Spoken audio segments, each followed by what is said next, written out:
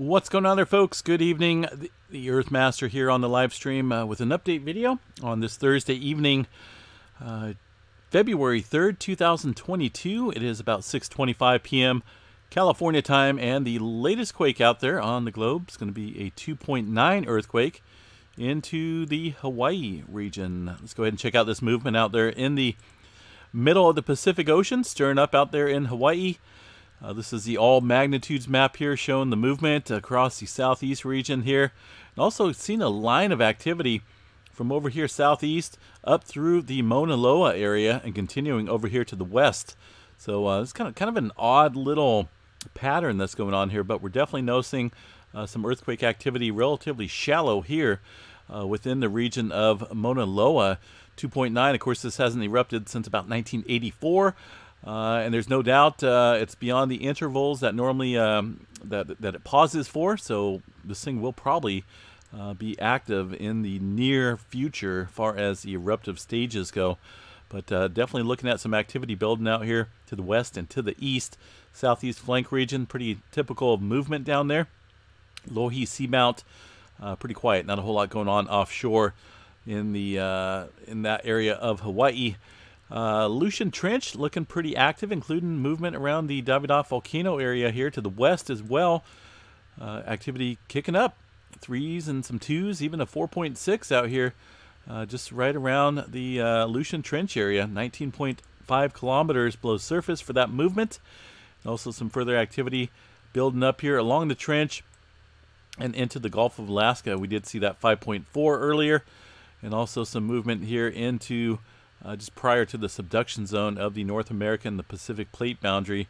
Some pretty shallow earthquake activity uh, sitting off the plate boundary to the south, 4.9 uh, largest in that little sequence of earthquakes. Up there through the Alaska region, uh, looks pretty typical for activity. The uh, Kuril Trench remains relatively quiet, except for this earthquake, deep earthquake, uh, late uh, late last night, or actually early this morning. This 4.2 struck off the coast of Russia, but into the Kuril Kamchatka Trench at 375 kilometers downstream. Philippine plate looks pretty quiet. We did see one little earthquake here uh, just around the uh, Philippines area with a 5.0 and some further movement as well around the uh, Indonesia area with a 4.5. Pretty deep movement just now within the last hour, right at the southern end of the Philippine Trench. 231.4 kilometers. Some deep activity there in the Indonesia region. Also, an earthquake just right within the last hour, kind of kicking up here again along the Kermadec Trench, including a 5.0 and uh, a prior 4.9 earlier this morning. So things starting to shuffle around again is a key word.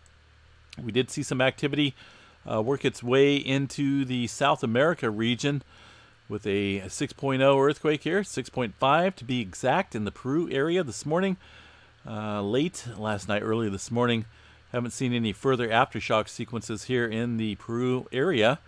Uh, movement to the south, looking, uh, I believe all this activity was pretty much prior. There was a little bit of earthquake activity much further south than the 6.5 along the Peru Chile Trench down here, so some deeper activity continues along this region of the subduction zone. And uh, continued activity, it looks like, off the coast of the El Salvador area. We did see this movement uh, early this morning as well, and throughout the day, a 4.5 and a 4.1. The Puerto Rico area looks like it's dying down a little bit in the earthquake activity. Not as active, although it is kind of a little bit still heightened on the all magnitudes map here with 23 earthquakes mostly occurring right there in that little swarm on the southwest area of uh, Puerto Rico. Let's go ahead and check out the states here. Eastern part looks pretty quiet. A little bit of activity. This is older movement here in Oklahoma and Kansas. And uh, West Coast showing some activity as well. Did see an earthquake off the coast of Oregon into the Blanco fracture zone. Of course, we, we had that pretty good swarming back in... Um, back in December, I believe it was. We had quite a few fours and fives kicking up here around this area of the Blanco fracture zone. Kind of uh, putting a lot of strain out here. Further strain along the Cascadia. It's already underneath strain. But uh, we did see that 4.0 strike earlier today. Pacific Northwest still showing some movement around Mount St. Helens. and the uh, Longview, Washington area. This activity right here is relatively deep, 15 to 18 kilometers below surface, and uh, leading me to believe that could be associated with some tremor act or um, uh, possible tremor activity downstream. Of course, then again, uh, the tremor does go down about 25 to 35 kilometers into the subduction zone, but uh, nonetheless, this is some deep earthquake activity here just to the west of St. Helens uh, volcano. Specifically, right around the Mount St. Helens volcano, typical where we'd see earthquake activity on a volcano, two to three, even some negative um, amounts there, meaning a very shallow uh, surface earthquake there at Mount St. Helens. And some activity stir stirring up here around Spirit Lake to the northeast as well. Mount Rainier showing some movement to the west, and uh, things just kind of kind of uh, kicking up a little bit in the earthquake department around those volcanoes. Let's check out the tremor map here in the Pacific Northwest. And we're looking at uh, 200. That's a pretty significant number. I can honestly say it's been quite a while since we've seen the two, uh, almost 300 epicenters of tremor along the Cascadia subduction zone here. It's a pretty big number.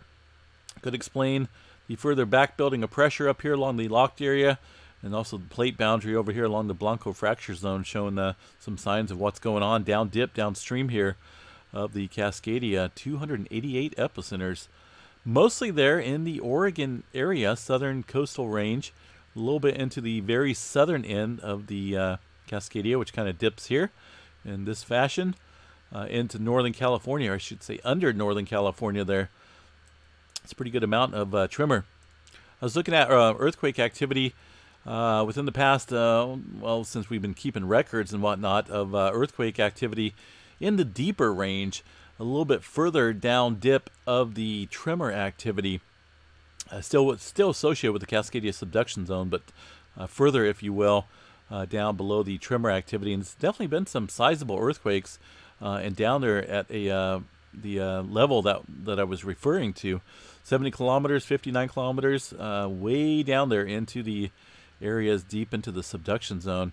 We haven't seen one of these in a while. I think the last one was 2001 to 6.8 outside of Olympia and Tacoma. I remember hearing about this one, but uh, it's been a while. A little bit of buildup. Looks like we got intervals there of at least uh, 15 years or so. So we could be coming up possibly on a uh, another potential uh, deep subduction zone quake with the lack of tremor that we've seen uh, in several weeks now. Of course, this uptick in tremor uh, that's the old tremor map, tremor map tonight right here. Um, still, it's relatively quiet up here through the uh, Pacific Northwest and this area of the Cascadia. Uh, so I wouldn't doubt if we start seeing maybe some earthquakes uh, down dip there where uh, we could be uh, stuck a little bit in the tremor area. what else we got here in the Yellowstone Department? there's the signature of that 6.5 in the Peru area this morning showing up on all the seismograph stations pretty nicely, except for a couple of them that are tuned. Uh, I don't know how they're tuned. They don't look properly tuned, though, because it's not picking up these distant quakes. Most of these stations there uh, showing that sizable earthquake at a distance. Really no localized earthquake activity that I can see. Maybe one up here around the Upper Falls area. But uh, overall, things pretty pretty mellow in the Yellowstone area. That's kind of been that way for quite a while now. Uh, what else we got here in the earthquake activity department? Well, what do we got? Puerto Rico, yeah, a little bit of movement in Southern Cal as well. The eastern part of the Sierra Nevada. Look at this activity stretching up to the lake up here, Pyramid Lake. A little bit of uh, linear activity up here on the eastern edge. Nothing significant, uh, but it's definitely showing up uh, on these maps pretty nicely. Some further activity through the Nevada area and also the Ridgecrest region here. But uh, overall, no major swarming to report and activity actually within the last hour. I don't see any red dots here on the west coast as far as uh, earthquake activity within the last hour. So kind of just uh, keeping an eye on it. Let's go ahead and check out the St. Helens activity a little bit more in detail. Go over here to the uh, volcanic volcano seismicity map here at uh, Mount St. Helens. And we'll see what these guys are popping up. Far as the local seismograph stations here, kind of like to look at these once in a while. and uh, observe the raw data that comes in there from the seismographs. I see a couple here already kind of in the background of all this noise, but uh, definitely some spikes here within the last couple hours. And uh, let's check out the previous day, which includes earlier today. Uh, there's a 2.6 near Morton showing up, 2.6 near Longview. And uh, man, it's kind of hard to tell on this map here specifically, but um, definitely seen some earthquake activity in there at the uh, Mount St. Helens area. Check out this different station, see if we can decipher anything a little bit more in detail out here as it sits and spins and waits. Uh, maybe, maybe not. Uh, these guys kind of slow. Look at that. Definitely not my internet, uh, but the pnsn.org network. All right, well, we will move on um, from that area. Far as earthquake activity in the uh, rest of the Pacific out here, Tonga pretty quiet. We're not seeing any further development out here, at least according to the USGS map. Go ahead and check out the EMSC model. And uh, we'll see if we can get these guys here. Okay, it's kind of just a little on the odd side. Uh, 5.0 on the Kermadec Trench. Some further activity down the Middle America Trench here, but uh, far as any threes and whatnot, let's go ahead and zoom in and we can check that out in a little bit more detail.